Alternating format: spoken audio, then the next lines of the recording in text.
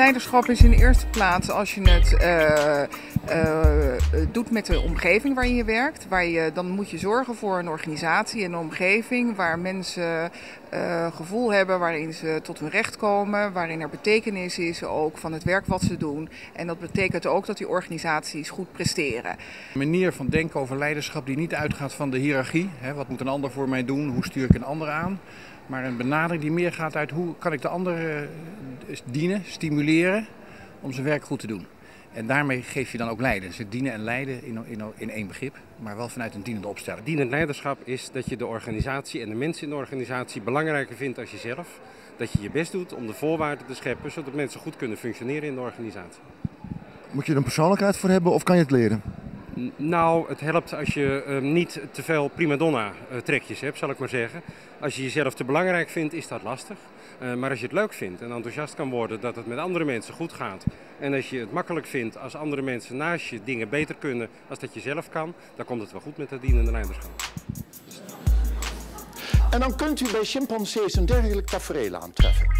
Dat zult u niet zien bij Bokito in Blijdorp. Dat zult u ook niet zien bij de herten op de Veluwe. Rechts ligt zij in al haar aantrekkelijkheid. Ja, zeg toch, hè? Oké.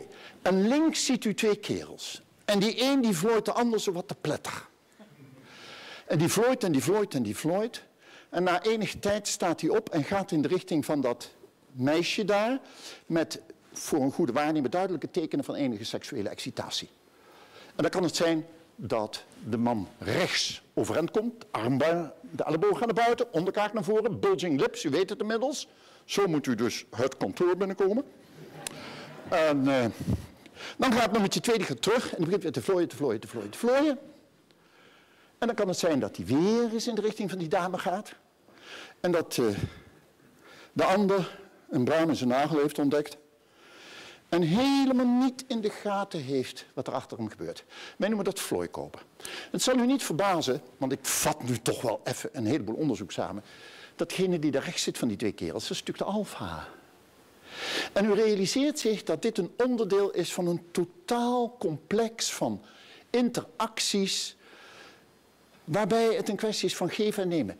Wat heb jij voor mij over, wat heb ik voor jou over? Om een lang verhaal kort te maken. Het komt erop neer dat een alfa zijn positie niet... Dat gebeurt bij een heleboel soorten.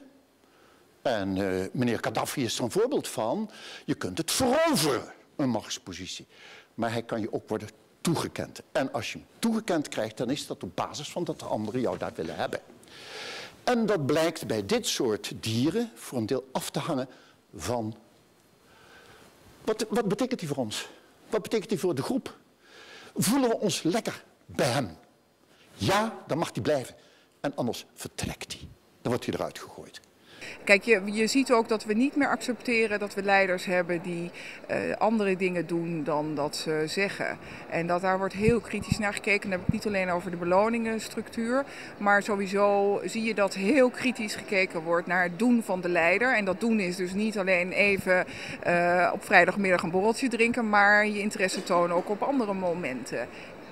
En ook met name zien ook wat de bijdrage is van mensen in de organisatie aan die organisatie. Dat herkennen en daar ook echt de aandacht aan besteden. Misschien toch, volgens mij, en dat hoor ik dan ook graag van de heren, naar op weg bent. Dus dat u zegt, laten leiders zich elkaar ook wel de maat nemen. Durf je elkaar aan te spreken, ook op leidersniveau. Absoluut. En hoe doen jullie dat, heren? Nou, ik, ik... Ja, dat is wel een moeilijke vraag. Nee, maar ik, ik, ben het, ik ben het daar zeer mee eens. Dat je, uh, je moet ook, naarmate je meer leiding moet geven, uh, moet je ook meer realiseren dat je uh, een groot gevaar hebt, namelijk loszingen van de werkelijkheid. Ja, en een van jullie zei je moet elkaar bij de les houden. Ja. Een beetje het verlagen van je eigen ego. Ja. Hè, dat je op dat moment... Dat is belangrijk. Als dat, dat te groot wordt, dan, dan ga je rare dingen doen. Maar belangrijk is dus dat je uh, leiders opzoekt die hetzelfde soort dingen doen. Uh, maar waar je ook uh, een soort intercollegiale toetsing mee hebt. Ja. Ik wil nog één persoonlijke wat vragen. Kijk, zij geeft dus heel, volgens mij heel mooi aan. Dan zitten we eerst met elkaar om de hete bij heen te draaien. Dat heeft er misschien ook wel mee te maken dat het vooral, en nu is dat misschien een listige vraag, dat het toch vooral ook mannen zijn die dat aan elkaar moeilijk vinden. Ja, echt. Dat is ja. echt zo. Nou, dan ben ik even benieuwd. Ja. Ik, het- Omdat dat toch, ik Ja. zeg het even, eh, Jaap van Zweden zei het zo mooi in Zomergasten, don't take it personal. Ja. Hè? En dat mannen dat misschien te snel persoonlijk denken, oh, dan gaat het ego van mij. Ah. Ik denk dat dat wel klopt. En dat is een, een sterk argument om naar diverse groepen eh, te streven die dat leiderschap met elkaar moeten invullen. En dat, dat is me te simpel om het alleen maar met man en vrouw in te vullen. Maar het is wel een heel belangrijk aspect ervan. Daar ben ik het eigenlijk mee. Even een wat andere benadering. Toen ik eh, begon bij het VUMC al wat langer geleden, zat ik ook vaak in discussie, heel indirect. Waar die organisatie had ook niet zo'n echte cultuur van elkaar aanspreken. Dat, zat ook wel een beetje, dat herkende ik op zich wel, maar vond ik ook onprettig. Wat ongelooflijk heeft geholpen, de eerste keer dat ik zei dat ik een keer een fout had gemaakt, een foute beoordeling. Dat ik zelf begon te discussiëren, in te brengen wat ik zelf vond dat ik op dat moment niet goed had. Dat heb ik ook mensen uitgelegd. Ik neem duizenden beslissingen misschien per, per jaar. Dat kan niet allemaal goed zijn. Dus wees nou maar open. En dat helpt geweldig voor mensen dat ze zichzelf ook kwetsbaar kunnen opstellen. Dat heb ik ook nodig in een type van een organisatie waar het juist om gaat. Kijk, in de patiëntenzorg, als er fouten worden gemaakt, dat die fouten juist boven tafel komen, dat je daarmee de zorg kan eh, verbeteren. Dus je moet daarin investeren. Je moet je kwetsbaar kunnen opstellen, anders kan je daar eigenlijk niet goed in functioneren. En je ziet dat dus eh, eh, we een variatie hebben van inspirerend leiderschap, eerder denken aan Barack Obama, enthousiasmerend, duidelijk, richtinggevend. Coachend is al wat meer gericht op de relatie, anderen helpen, helpen ontwikkelen. Participatief, dat is de meer democratische stijl. En het groene betekent dat zijn stijlen die meestal goede resultaten opleveren.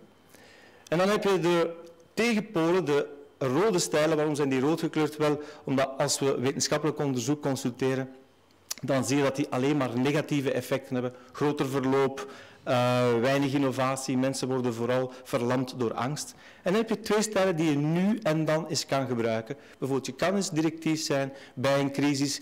Er is ook niemand die het mij zou kwalijk nemen als het nu zou branden, dat ik zeg van, mensen, iedereen de deur uit, laat alles liggen. Ik denk dat u heel raar zou opkijken wanneer ik participatief zou vragen, zullen we even iedereen aan bod laten komen wat we nu het beste doen.